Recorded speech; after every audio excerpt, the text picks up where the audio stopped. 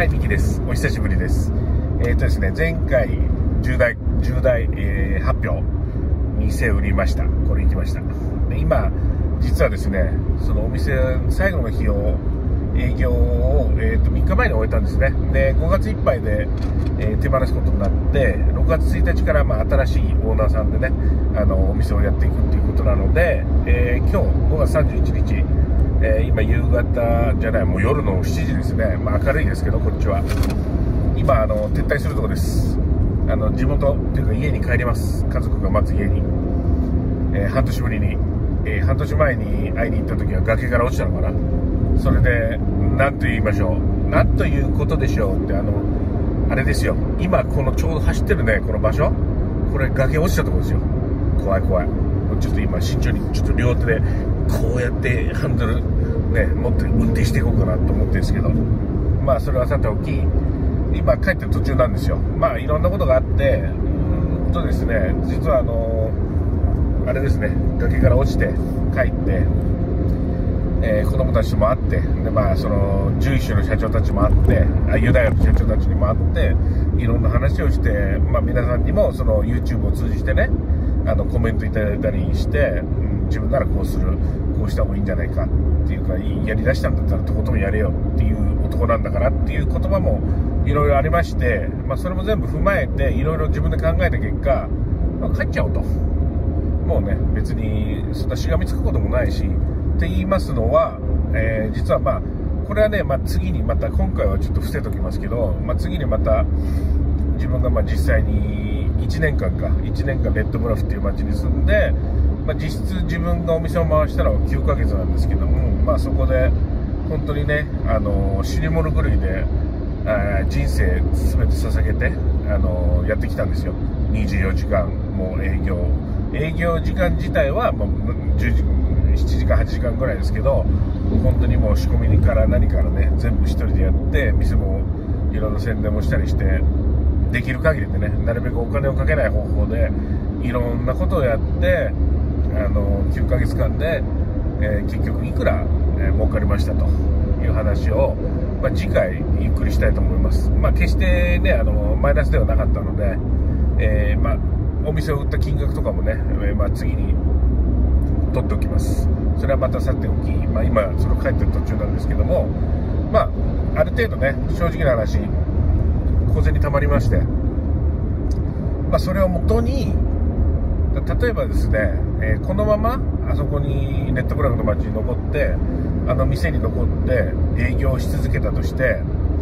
えー確かに毎月、ね、決まった売り上げがあって決まった収入があって決まった貯金額っていう風になっていくと思うんですけど、まあ、やっぱりそれでも5年間でミリオネアっていうのはやっぱり厳しいなと思ったんですよね。もう本当に何でしょうね一件じゃ無理だな限界限界というかまあその見えてしまったんですね。ですから結局ねどうやるかって言った時にもこれはもう増やすしかないわけで店を。で、まあ、結局あの場所ではもう人もいないしあの知り合いもいないので店を増やしていくっていうことは不可能なわけですよ。で実際増やすのもってねもう一人呼んだけど、まあ、結局また裏切られたりして、えー来なかったりとかね、まあ、そういうのもあって結局だったらもう自分でねある程度この溜まった小銭を持って自分のに帰って、まあ、知り合いとか、まあ、仲間とか、まあ、募ってまあ仲間とかは募らないかな。やっぱりあの友達とかも一緒に働く気はないですけども、まあね、友達関係を維持したいのでだからまあね向こうで募集するなり人を見つけるなりしてまあちょっと広げていこうかなっていうふうに考えました。でないとですね一軒の店にこうとらわれてしもうそこにねずっと縛られてしまうと他のことができないんですよね。やっぱり人に任せて、えー人にやっていただいてお店を回していただいて、まあ、自分はお金を回すっていう風な、えー方向に今行こうと思ってます。考えて今帰ってきてます。まあとりあえずしばらくはねまあそのすぐいろんなことがありますんでね。あの財務処理だとか今までの会社とかの、まあ、いろんなことがありますんで、まあ、ちょっと12週間あって、まあ、その後まあ2週間ぐらいね子供たちがちょうど夏休みなんで、まあ、休みを取って、まあ、いろんなとこ旅行行ったりとかしたいと思って考えてます。ですからまあこれから一月ぐらいはもうあの何もしないです。何もしないっていうか仕事しないです。だってね、1年間行って休み1日も取ってないんでね、もう、普通のお店で働いてたとしたら、もう本当に、4ヶ月ぐらい休み溜まってんじゃないかなと思って、だからまあ、とりあえず1ヶ月も消化しちゃうと。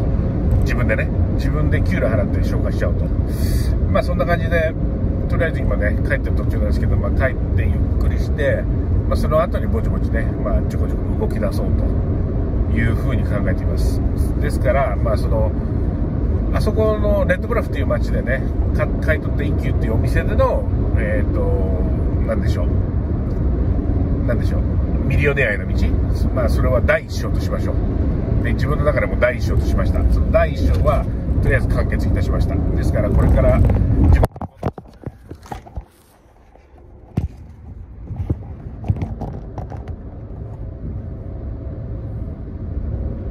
はい、失礼しました。えっとですね、ですからこれから、まあ、その、レッドブラフでの、えっと、ミリオネアの道、まあ、全てを投げ打って地元から離れて家族を置いて1人で挑戦っていう、まあ、とりあえず第1章ですね。第1章という形でも今、えー、完結しました。今日をもって完結です、えー、まあ、いろんな、ね、ことありましたけども、まあ、それをまたおいおい話していくとして今日はとりあえずまあその、え、重大発表に基づくちょっとした簡単な説明というか経緯というか、まあ、どうして戻ることになったかどうしてお店を売ったかっていうことに関して、まあ、ちょっと今説明ね補足ですね。ちょっと付けさせていただきます。えっ、ー、とやっぱこれからね第2章としてやってきますので、まあ、とりあえず1年前に自分では持ってなかった、えー、お金を今手にしてでその元手があったら多分地元っていうかねその自分が今まで住んでた町であのお店をやってたと思うんですよ。でもそれがそのお金がなかった。で、まあ、先行くものもなかったと。で貯金もなかったとそんなに。だからまあそこでの調整はできなかった。でも今1年間自分であのー、ね、一生懸命働いてえー、本当週7日ねやって帰ってきてそれでまあその資金というか元手に、ね、なるものができたんで、まあ、今このチャンスっていうかねこのタイミングで挑戦するのもいいんじゃないかと思いました。でやっぱり家族のね支えもあるし子供たちと一緒にいることでねまあそのどんな困難も乗り越えられるっていうそのもっとねフィジカルの面を使ってその精神面とかもう無敵になっちゃうと思うんですよ。無敵ね。無敵だからカタツムリちょっと行ってみたかったんですけど。でなんだろうな。だからまあ地元に帰って店、まあ、なんか商売っていうかね、まあ、そのもちろん食べ物関係の、まあ、お店をやるにしても、えー、まあ、ゴーストキッチンという形でねその曲がりしてそこで弁当売ったりとか、まあ、そういうのも考えてますし、まあ、いろんなねあの可能性があるんでその元手ができたわけで、まあ、これからその元手をね、えー、やって挑戦していきたいと思います。だからこれから第2章始まりますね。はい、ミリオエミリオネアへの道。第2章、えーと、一月後からスタートしますんでそれまでまあちょっとあのちょこちょこお休みしたりちょこちょこやったり、えー、まあだらだらだらだらちょちょこちょこあのちっちゃくねあの細かくあのみじん切りみたいなみじん切りであの小出しにあの情報出してきますんであのもしよろしければまたそれ付き合っていただいて、チャンネル登録とかね、本当にしてくんないんですよ、チャンネル登録。俺ね、こんだけ頼んで、こんだけ頭下げて、もう本当人生でこんなに頭下げたことないぐらい下げてるんですけど、チャンネル登録してくんないんですよ、誰も。みんな通り過ぎちゃってるんですよ。だからそこ通り過ぎちゃったあなたはね、本当にちょっと、ステップバック。2、3歩ちょっと下がってもらって、ポチってやってくれたら、ピンポン出し行きますから。マジで。だからそう、あの、そっとグッドボタンとコメントと、まあ、あの、お時間がある方はやっていただいて、また、あの、